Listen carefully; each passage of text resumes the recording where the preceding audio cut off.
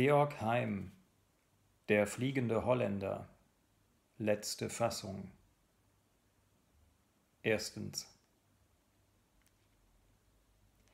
Wie Feuerregen füllt den Ozean der schwarze Gram. Die großen Wogen türmt der Südwind auf, der in die Segel stürmt, die schwarz und riesig flattern im Orkan. Ein Vogel fliegt voraus. Sein langes Haar sträubt von den Winden um das Haupt ihm groß.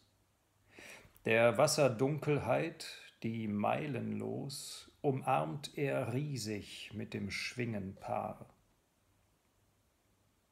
Vorbei an China, wo das gelbe Meer die Drachenjunken vor den Städten wiegt, wo Feuerwerk die Himmel überfliegt und Trommeln schlagen um die Tempeln her.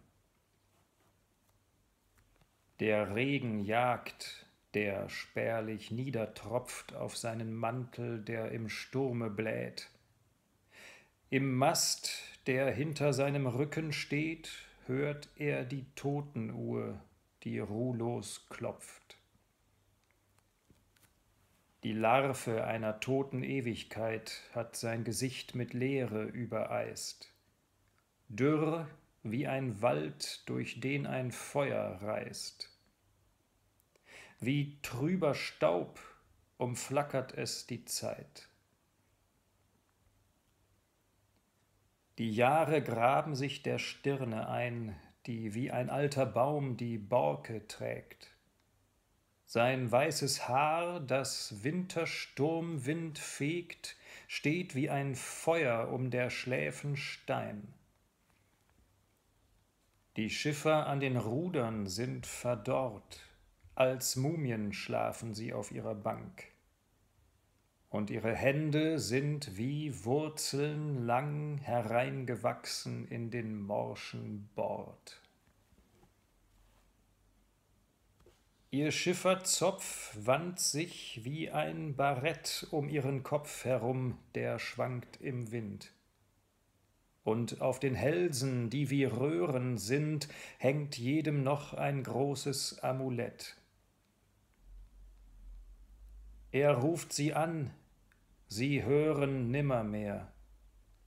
Der Herbst hat Moos in ihrem Ohr gepflanzt, das grünlich hängt und in dem Winde tanzt um ihre welken Backen hin und her.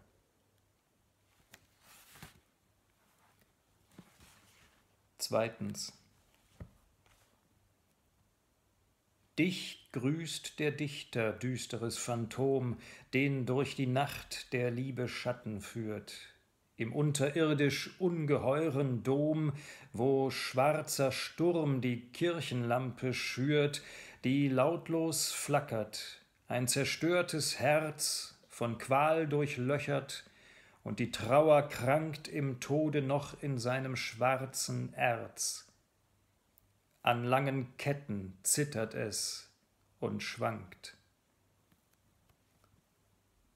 Sein roter Schein flammt über Gräber hin. An dem Altare kniet ein Ministrant, zwei Dolche in der offenen Brust.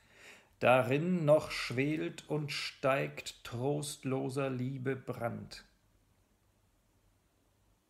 Durch schwarze Stollen flattert das Gespenst.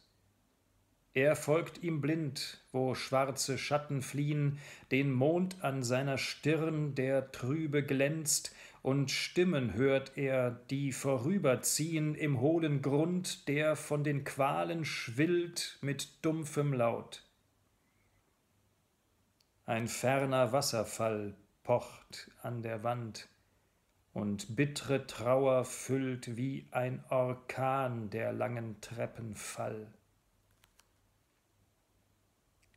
Fern kommt ein Zug von Fackeln durch ein Tor, ein Sarg, der auf der Träger Schultern bebt und langsam durch den langen Korridor in trauriger Musik vorüberschwebt. Wer ruht darin? Wer starb? Der matte Ton der Flöten wandert durch die Gänge fort. Ein dunkles Echo ruft er noch, wo schon die Stille hockt an dem versunkenen Ort.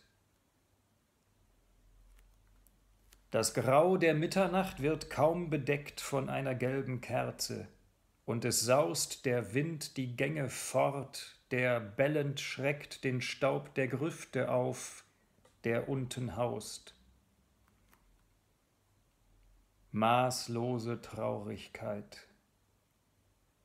In Nacht allein verirrt der Wandrer durch den hohen Flur, wo oben in der dunklen Wölbung Stein Gestirne fliehen in magischer Figur.